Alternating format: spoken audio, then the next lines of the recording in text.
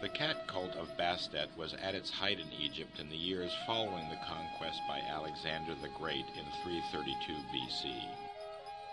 As people sought to appease the gods with sacrificial gifts, the priests of Bastet ran a lively business raising cats and turning them into offerings.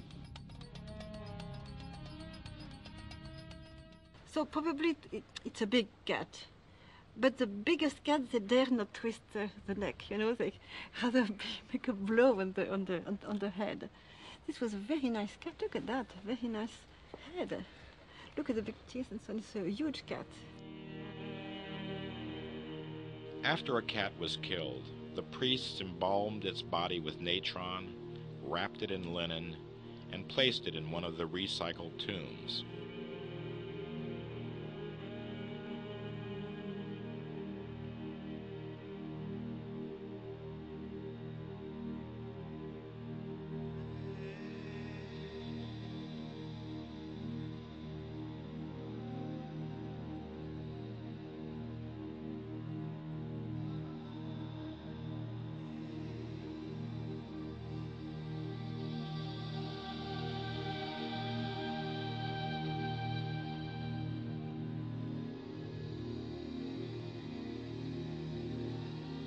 Naturally, all of the work the priests performed was done for a fee, and customers generally got what they paid for.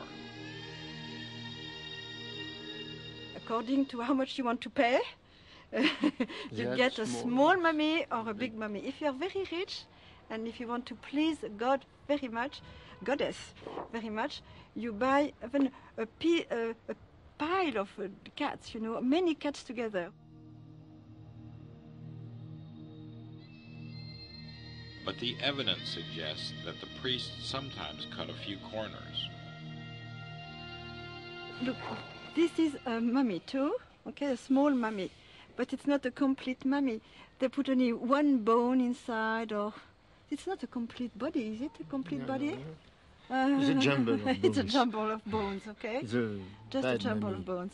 And a quarter of the mummies were just fake mummies. They have nothing in the in the wrappings. But whether there was a scarcity of cats or the priests were running a con game, no one really knows.